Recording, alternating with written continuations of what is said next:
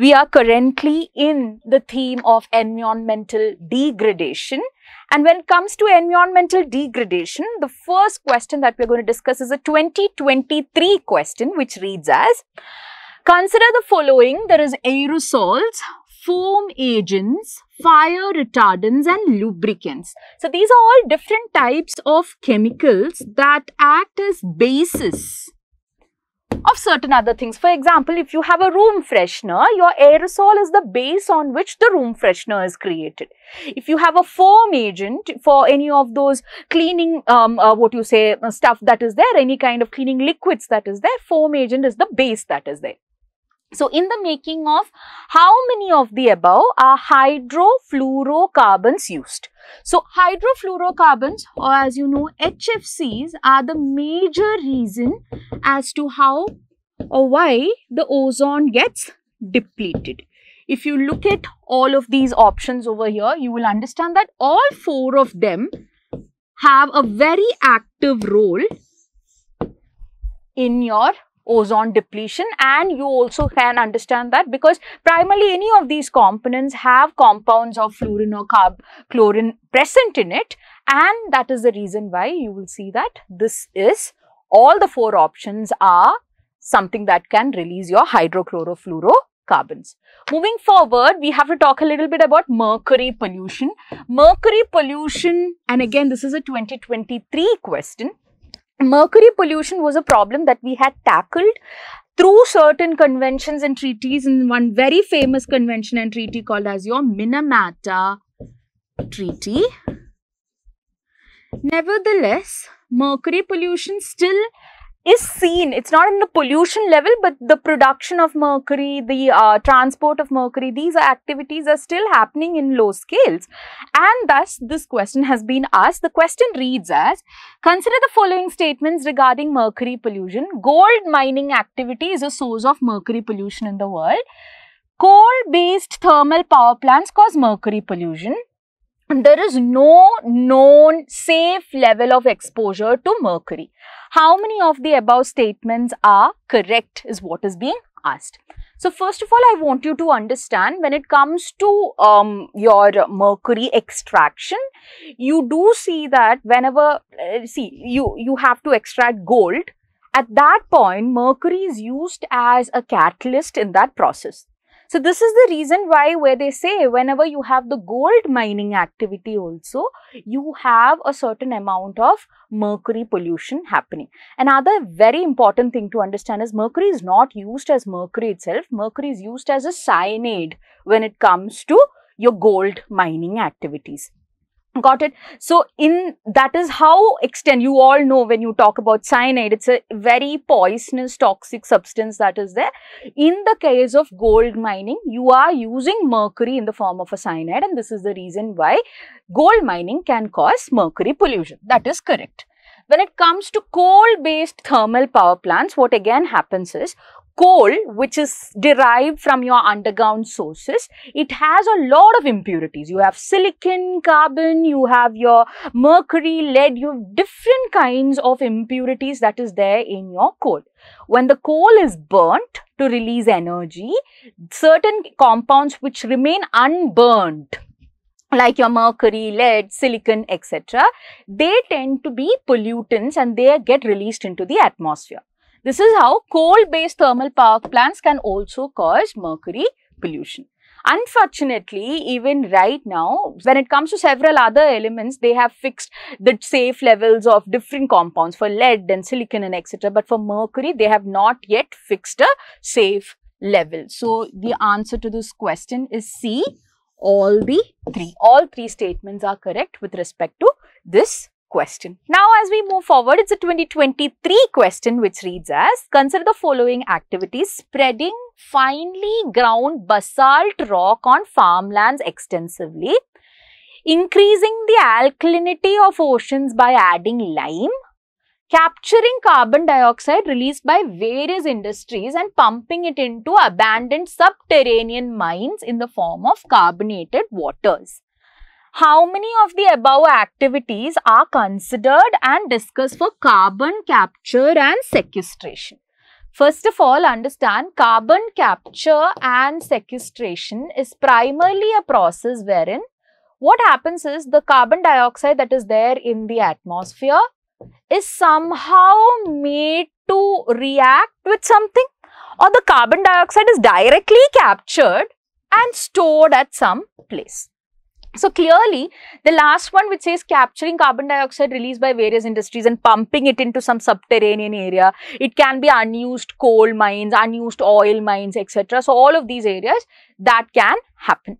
The second one is increasing the alkalinity of oceans by adding lime.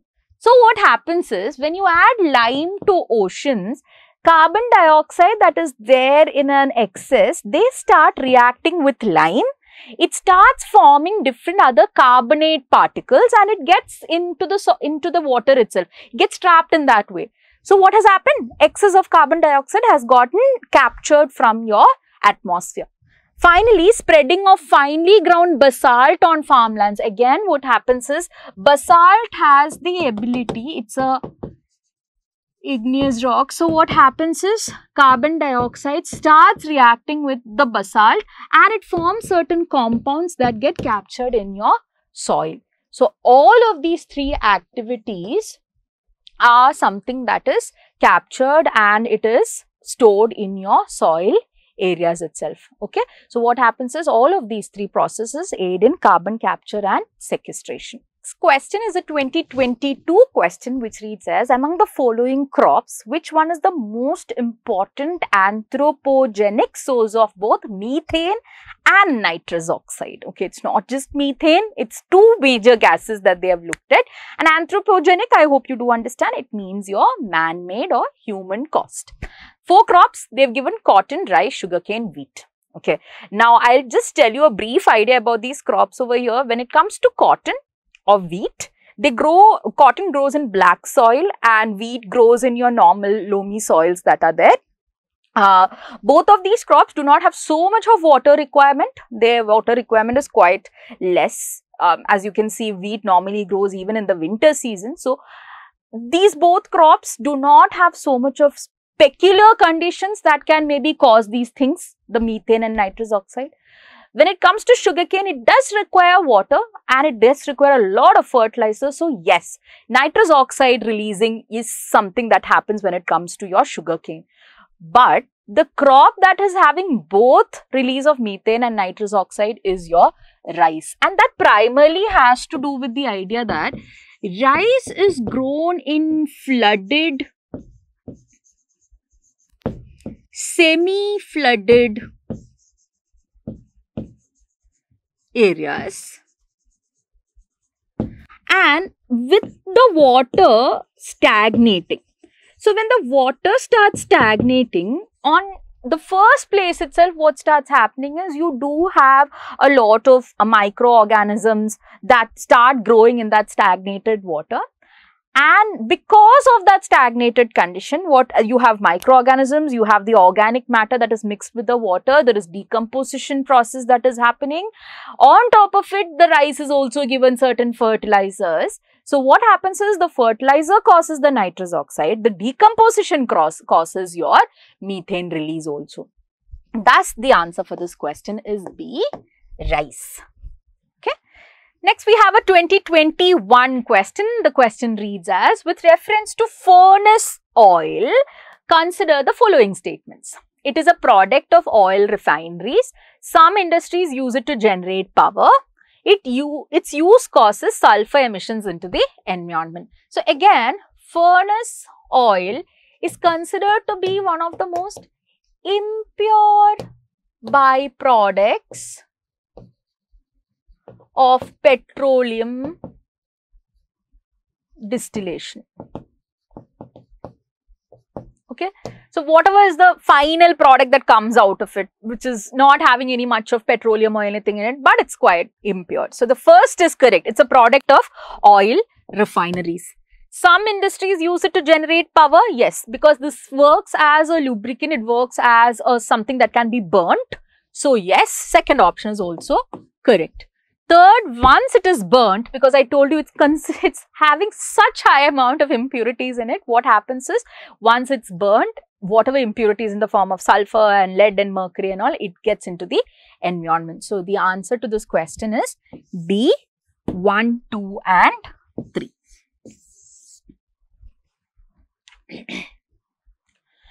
Next, we have a 2021 question. The question reads as magnetite particles. Magnetite primarily is an iron related particle. You have hematite, magnetite, etc.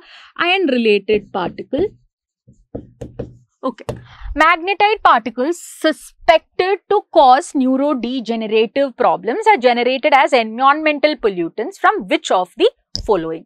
Brakes of motor vehicles, engines of motor vehicles, microwave stoves within homes, power plants, telephone lines which is an option that you might be sure of because i told you it's it's at the end of the day it is iron iron particles. From which of this uh, by uh, with all our discussion that has been happening till now which one do you think has the ability to maybe release iron particles in different forms. Iron in the form of oxides, iron in the form of, you know, combining with different things. Your power plants, okay? Because I told you in the power plants, you're burning your coal and your petroleum. The impurities have iron in it. The iron, not only iron, several other compounds. Now what happens? The oxygen reacts with it and gets released. So power plants is a sure short thing. That means 4 should be there in your answer. If you look at it over here, there are three options which have 4 in it. Okay. Now, which is the next one that you can be sure of? The next one that you can be sure of is after your burning in the power plants, another area where there is burning happening of your coal and petroleum. Engines of motor vehicles, from there also you can have magnetite released.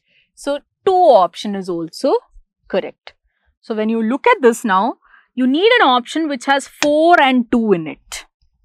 And thus, we are left with 1, 2 and 4, 1, 2, 3, 4, 5. Okay. So now here we have to understand if brakes of motor vehicles, microwave stoves or telephone lines cause any of this. There is no evidence of any of the other three causing iron oxide particles, especially telephone lines, etc. Microwaves have other problems, but not iron particles getting released. Got it in fact, iron is not something that you can even use in certain microwave stoves. So, your answer over here is B 1, 2 and 4. If I had to ask you the instead of iron uh, microwave stoves, if they had said open cooking using uh, wood, that would have been an answer. Why? Because even there you are burning substances that has iron in it. Okay, because you're burning biomass. So, the answer to this particular question right now is B 1, 2 and 4 only.